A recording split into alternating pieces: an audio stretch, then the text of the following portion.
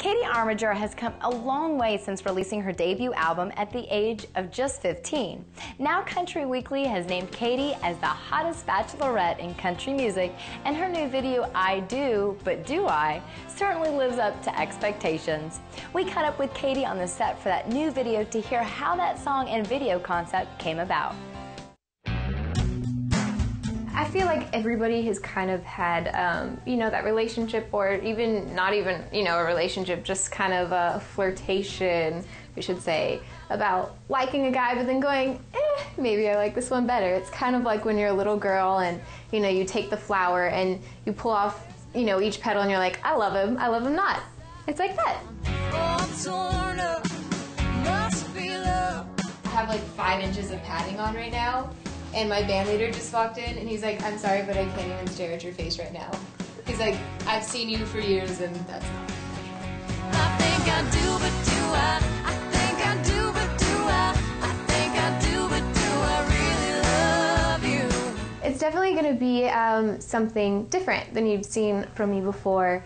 It's going to be really fun, but also um, it's just it's a very good combination. It's going to be black and white, and I've never done a black and white video. I actually haven't really seen that many. We're referencing um, Jay Z for this video. Oh, yeah. And uh, Steven Shepard's going to be the director, so it's just going to be fun. You know, I have my band in this video, and, you know, we were just trying to figure out different things to make this interesting. And because a lot of times I always do concept videos, there's always like this huge storyline, and we're like, let's just do like a fun performance video, have the band, you know, you know, ha definitely have like a male love interest, um, but just kind of keep it more fun, open.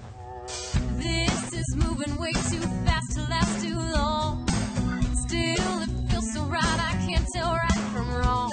You know, the first video you get there and you're like, oh my god, there are 30 people, there are cameras, you know, I'm putting a push up bra on, what's happening? And, uh, you know, now you, you know what's gonna happen. So this is our last I call this the Tom Cruise look. It's the white mid shirt, but I know my parents and my little siblings will see this video, so I put on the white shorts for it.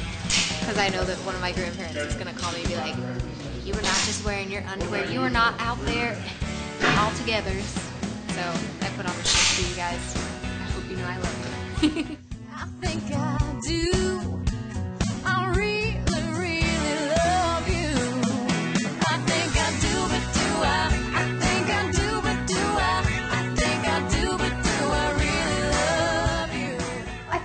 every artist, um, you know, changes. It's one of those things that is just an evolutionary process, and it's also a, a growth. You know, whether or not you're young or you know you're middle aged and starting, or you know any age. Um, you know, you just learn yourself, and at every you know single different time in your life, you're at a different point.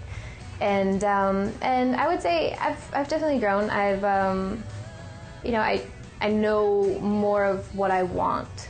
Is probably the best way to describe it.